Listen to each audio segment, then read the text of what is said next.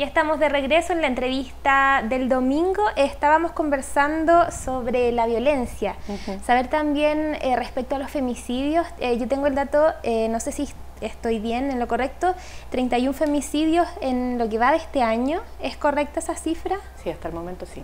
¿Qué está haciendo el, el CERNAM para tratar de, disminuir estas cifras? Tengo entendido que el año pasado la cifra fue cerca de 40 fue 40. Eh, fue 40. El 2013 y el 2014 fueron 40 femicidios consumados. Ya. Eh, y hubo un pequeño aumento de la cifra de femicidios frustrados por dos motivos. Uno, porque efectivamente puede haber siempre más, más ataques, eh, pero también porque nosotros como Servicio Nacional de la Mujer hemos extremado nuestras coordinaciones para poder reivindicar como femicidios eh, situaciones, agresiones, eh, ataques femicidas que años anteriores no habían logrado ser calificados de esa manera. Eh, vemos varias instituciones que participamos de la calificación y la tipificación de un femicidio. ¿El CERNAM apoya para evitar que ocurran este tipo de situaciones y también apoya después a, la familia que rodea? Cuando una mujer ha sido agredida y denuncia y, y tiene esa denuncia y llega a manos de CERNAM, hay varios dispositivos que se, se pueden pueden eh, operar, digamos. En primer lugar, poder ir a un centro de la mujer, si el grado de violencia es mucho mayor y reviste un peligro para su riesgo eh, de vida, digamos, eh, se, puede ir a una, se le puede ir a una casa de acogida, cosa de poder sacarla del lugar en donde está siendo agredida y llevarla a un espacio de protección. puede haber también dispositivo, un dispositivo de emergencia que funciona en el celular, donde se puede comunicar con carabineros rápidamente si es que hubiera una situación de este tipo y como también otros ámbitos de eh, trabajo que tenemos en el Servicio Nacional de la Mujer. Recordemos que no solo trabajamos con la violencia hacia las mujeres, con las propias víctimas que son las mujeres, sino que también trabajando en eh, reeducación de hombres agresores a propósito también de tener centros de eh, educación de hombres agresores. Tomando en cuenta también que las mujeres tardan muchos años en denunciar estos hechos, ¿eso se mantiene? Eh, ¿Las mujeres siguen esperando mucho para denunciar o ahora se demoran un poco? Lo que tenemos que entender cuando una mujer ha sido víctima de violencia, eh, en primer lugar, es que eh, pasan muchos años, en promedio se dice que hay siete años entre que una mujer recibe sus primeras agresiones hasta que se decide denunciar. Eh, y esto es porque efectivamente hay un primer tema que es fundamental y es el grado de miedo que provoca eh, en las mujeres agredidas, el que la denuncia en primer lugar genere una reacción mucho mayor, a veces están también los hijos y las hijas que pueden estar siendo agredidos o eh, violentados, digamos, de alguna manera. Entonces, en esto nosotros necesitamos hacer sensibilización con respecto al tener que denunciar pero que no todo quede en responsabilidad de las mujeres.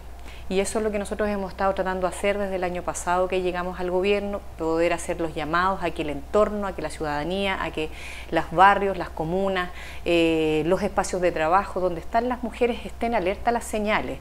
Muchas señales de violencia contra las mujeres se dan mucho antes de un ataque femicida y son distintas a un ataque femicida. Pueden venir desde el grado de control que ejercen las parejas o exparejas, pueden venir desde eh, agresiones eh, verbales o, mucha manipulación psicológica, eh, también por supuesto agresiones físicas, pero que, comillas, no son tan graves como un ataque femicida, digamos, que lo que busca es realmente asesinar a una mujer. ¿no? Eh, y de esas señales podemos estar bastante más alerta, la posibilidad de, esta, eh, de poder descubrirlo antes, de poder acercarnos a esas mujeres que están viviendo la violencia, de poder acogerlas, de poder decir que vamos a estar con ellas, de poder orientarlas también para que reciban el apoyo necesario, es fundamental. Y es por eso que el Servicio Nacional de la Mujer este año 2015 ha implementado un nuevo programa que refuerza líneas que ya se habían venido trabajando, pero muy muy desde el sacrificio y la disposición al trabajo que tienen nuestros propios equipos, que es la prevención en la violencia. Eh, y hemos querido hacer una alianza con los dirigentes y las dirigentes eh, territoriales, vecinales, funcionales eh, de, nuestro país para poder ir capacitando a los dirigentes sociales y a las dirigentes sociales en ser monitores en prevención de violencia. ¿Qué es lo que buscamos? ese dirigente o esa dirigente mujer no va a solucionar ni eh, el problema, específico. De, violencia, pero en la medida que nosotros hacemos que nuestros dirigentes, hombres y mujeres, en nuestros territorios, conversen estos temas, asuman que es necesario debatirlos de manera pública, generar planes de contingencia en los barrios, en la Junta de Vecinos, saber que pueden recurrir no solo al CERNAMA, a Carabinero, a la Policía de Investigaciones, que en el Ministerio Público se hacen las denuncias, generar las redes con los centros de salud, podemos ir ampliando más estrategias de prevención de la violencia y estrategias que finalmente no solo nos digan condenar la violencia, sino que actuar a tiempo, actuar coordinadamente y por lo tanto actuar asertivamente y eficazmente para evitar estos ataques femicidas. Necesitamos hacer mucha conciencia de que la violencia contra las mujeres es total y absolutamente condenable y por lo mismo eh, desnaturalizar muchas prácticas de violencia. Hoy día estamos viendo en los últimos días, digamos las últimas semanas, eh, campañas más fuertes de sensibilización con respecto, por ejemplo, que el acoso sexual callejero, también es violencia.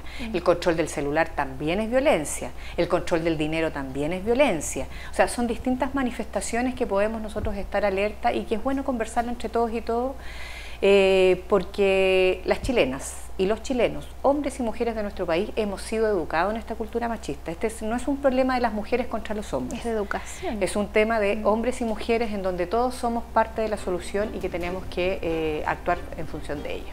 Ok, vamos a la última pausa comercial y ya regresamos para finalizar la entrevista del domingo. Yo cumplo. ¿Y tú? Cumplimos con la ley teniendo todos los permisos al día para todos los que participamos constantemente, es doblemente responsable el tener que cumplir con las normas. ¿Qué pasa con un deportista que lo pillen utilizando mal su arma? Nunca más va a poder utilizar su arma. Quiero hacer un llamado a toda la gente que tiene armas, que las inscriba, que para todos nosotros, portadores de armas, es importante que ustedes también las, las tengan inscritas. Yo cumplo. ¿Y tú? Más información en www.dgmn.cl.